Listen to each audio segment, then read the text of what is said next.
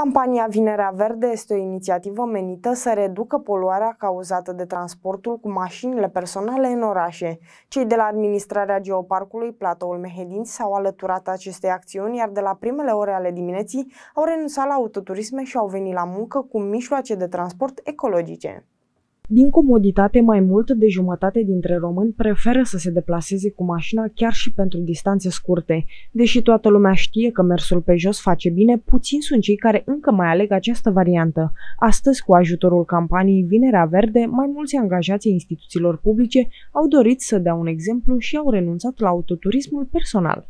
Pe lângă acțiunile de ecologizare pe care le-am desfășurat împreună cu, cu colegii mei în uh, Geoparc Platou Mehedinți și în uh, județul Mehedinți, astăzi am uh, hotărât să, să mă arătur și eu inițiativei și campaniei Vinerea Verde.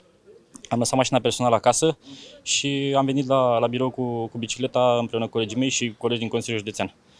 Pe această cale fac apel la cât mai mulți cetățeni să, să practice acest lucru, să, să-și lasă mașina personală măcar o zi acasă, e sănătos, e benefic mediului înconjurător, o viață sănătoasă nu se poate decât într-un mediu sănătos și un mediu curat. Această campanie încurajează utilizarea transportului alternativ în scopul reducerii poluării și implicit a emisiilor de carbon. După cum știm și după cum vedem, ne confruntăm cu o mobilitate poluantă și aglomerată.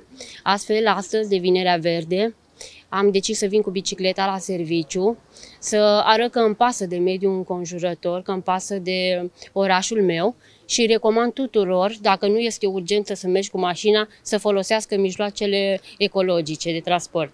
Avantajele mersului pe jos sunt multe, începând de la menținerea unei siluete de invidiat până la efectele pozitive asupra sănătății. Această activitate poate fi introdusă cu ușurință în rutina de zi cu zi și poate fi făcută în orice moment al zilei. Este gratuit, nu necesită echipament sofisticat sau antrenament special.